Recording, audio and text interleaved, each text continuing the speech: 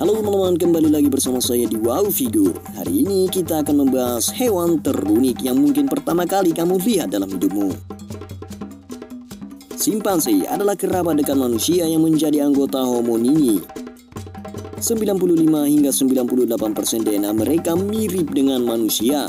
Mereka adalah makhluk yang sangat sosial dan juga cerdas. Mereka tahu cara membaca simbol dan mereka memahami beberapa aspek bahasa manusia. Kebanyakan simpanse memang terlihat adalah berbulu dan lucu, tetapi mereka juga memiliki otot kuat yang tersembunyi di balik bulu mereka. Otot-otot itu digunakan agar mudah dapat memanjat pohon. Nah, otot-otot ini akan terlihat dengan jelas pada si Mongo. Mongo si pemilik lengan yang gempal. Dia lahir pada bulan Agustus 1994 dan tampak seperti simpanse normal lainnya. Tetapi beberapa bulan kemudian, simpanse ini mulai kehilangan rambut. Setahun kemudian, Mongo sudah benar-benar botak. Selama bulan-bulan pertama kehidupan si Mongo, dia diperiksa dokter yang berbeda dan telah mencoba berbagai obat, tapi tetap tidak membantunya.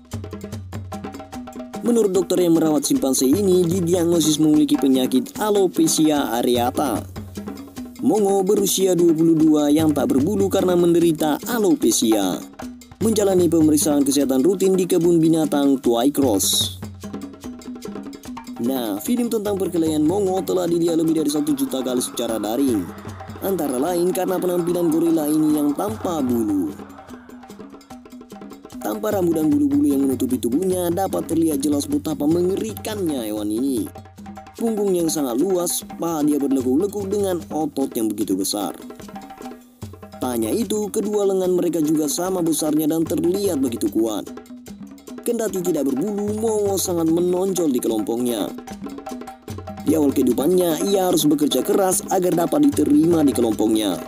Tetapi kemudian menjadi bagian dari integral dari suatu hierarki gorila yang ketat. Yang juga dipimpin oleh ayahnya si Mongo. Nah, dan ternyata dia juga populer di kalangan kaum betina, terutama Nodi yang biasanya selalu berada di dekatnya.